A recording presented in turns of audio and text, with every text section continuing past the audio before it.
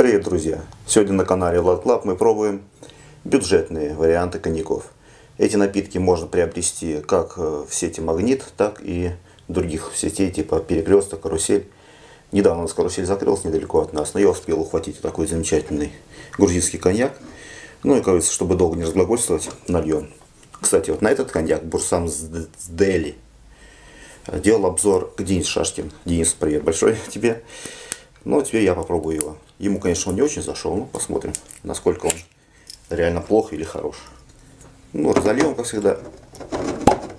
О, пробка с прессованной крошки.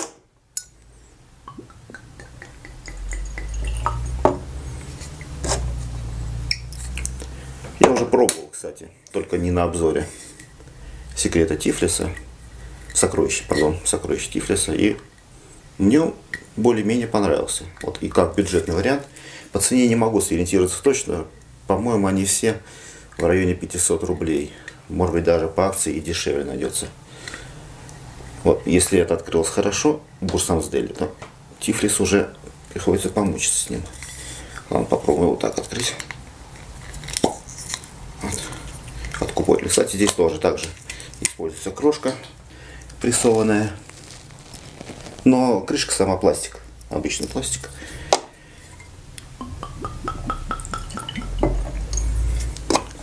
Итак, информацию по Бурсамсдель я не нашел нигде. Поэтому почитаем. Да, дата розлива. 39-20 этот напиток и 15-7-20. Ну, считай, что прошлогодний. Импортер Экспресс Вин. Они вот пятилетние у нас, пятилеточки. И здесь, что самое интересное, написано «Коньяки Кавказа».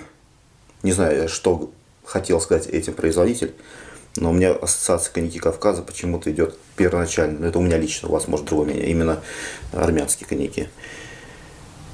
Не знаю. Посмотрим, что все представляют. Так, оба пятилетние.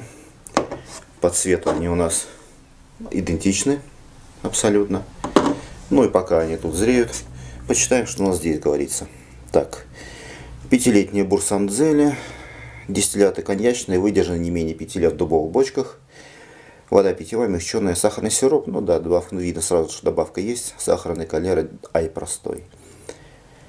Э, производитель. Производитель, изготовитель.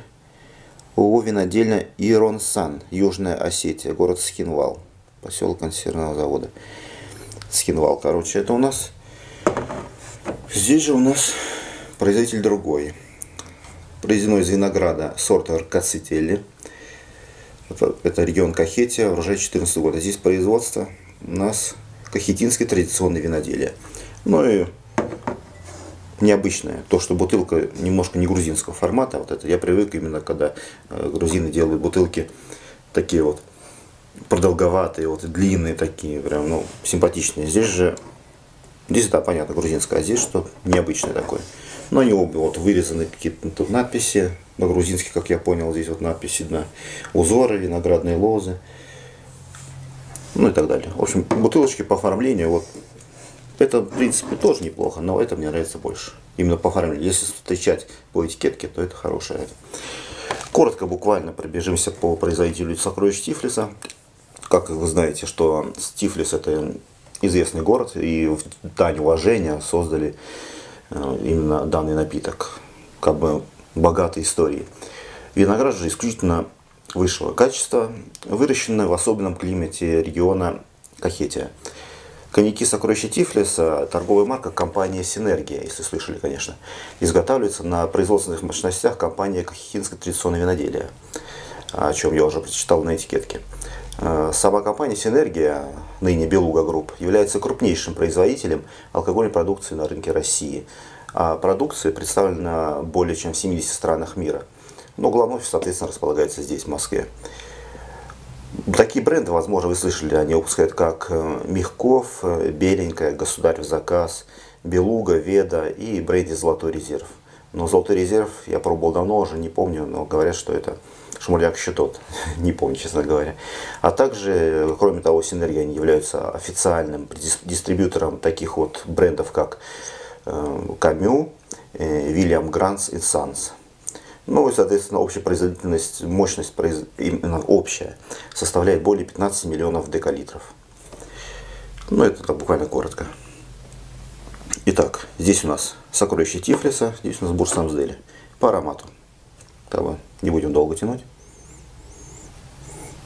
Но знаете, я думал, что будет хуже.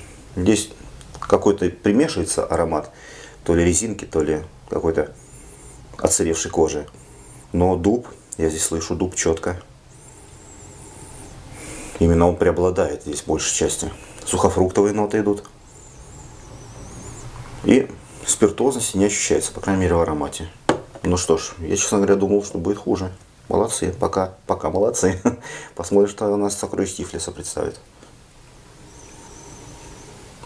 Здесь он менее насыщенный, такой как здесь, но больше в аромате слышно разных оттенков. Здесь какие-то цветочки, слабый дуб, совсем слабенький дуб, ну и сухофруктовые ноты. Я полагаю, вообще ему нужно дать постоять подольше. Но мы, как говорится, не возьмем не совсем небольшую паузу. Посмотрим, что дальше будет. Прошло 10 минут. Дал я постоять данную напитку подольше. Смотрим, что у нас представляет себя бурсамсдели. Посторонний аромат, который я изначально услышал, это сыровяленая, ну не сыровяленая, отсыревшая кожа, ушел. Появились цветы, сухофрукты. Дубовость ушла, кстати, тоже. Он раскрылся более приятными на мой вкус, на мой аромат приятными тонами. Ну да, и, пожалуй, больше здесь я ничего не слышу. Да, цветочно такой э, сухофруктовый, я бы сказал, оттенок. Что же у нас сокровище Тифлиса представит из себя? Здесь мягче аромат. Цветы более стали, стали как бы вылезать на первый фон. Сухофрукты ушли на второй фон. Дуба не слышу вообще. Он помягче, но он победнее будет. Вот в данный момент, вот я сейчас сравниваю, Бурсанзели, оказывается, по аромату выигрывает. На мой вкус аромат, опять-таки, у вас может быть другое мнение. Не обязательно принимать мое мнение за аксиому. Ну, за вас, ребят. Попробуем, начнем. Денис, пробуем.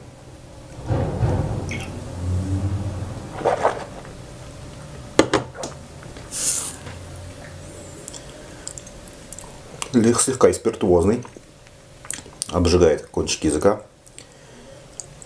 Но после вкуса сухофрукты, дуб. Еще какие-то специи в фоне есть. Точно не могу сказать. Но сухофрукты и дуб здесь вылезли на первый фон. И его пить можно, ребят. За свою цену, которую он стоит по акции, если урвать. Я, повторюсь, в магните брал его за где-то 400 с чем-то рублей, по-моему точно не буду врать, где-то в этом диапазоне. Вот. Сокровище Тифлиса тоже в этом же районе. Это, говорю, бюджетные варианты, которые можете позволить и вы себе приобрести. Вполне питкий. Да, в нем копаться не стоит, как в дорогих напитках, но мы же сегодня обсуждаем бюджетный вариант, и он мне нравится. По крайней мере, пить можно. Особенно под шашлычок, если хорошо, то вообще замечательно. Да не просто под шашлычок, а вообще за столом посидеть под хорошую закуску с друзьями, с родственниками, кто любит коньяки. Отлично. Ну, второй глоток. Опять-таки за вас.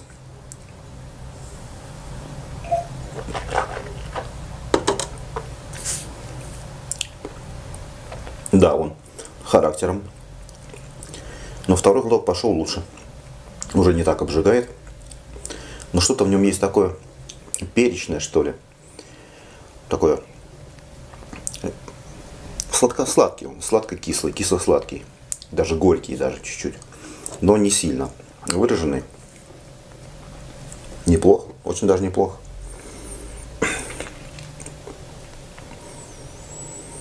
Вот что-то тут есть сокровище Тифлиса такое мне незнакомое совсем. Что-то тут примешивается наверное, какой-то все-таки Не, не химоза, нет. Что-то здесь добавки какие-то пищевые есть. Мне непонятные. Деревяшки нет. Ну, сравним, пробуем. За вас, мои друзья.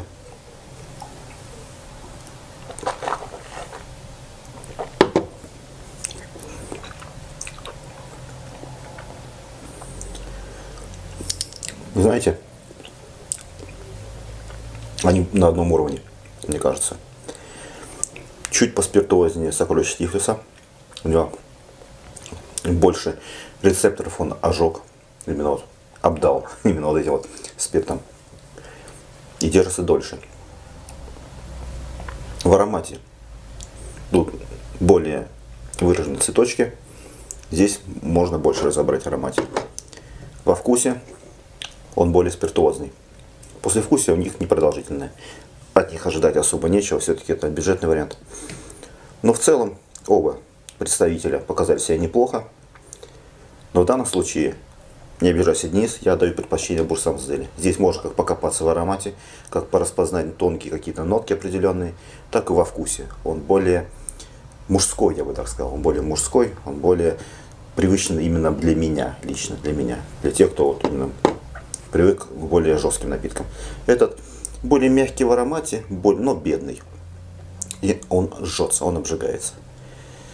Взять ли его я рекомендую или нет? Ну, как попробовать, ребята, стоит. По крайней мере, попробовать его стоит. Если получится найти меньше тари, для начала попробуйте. Не знаю, есть ли вообще меньше тари.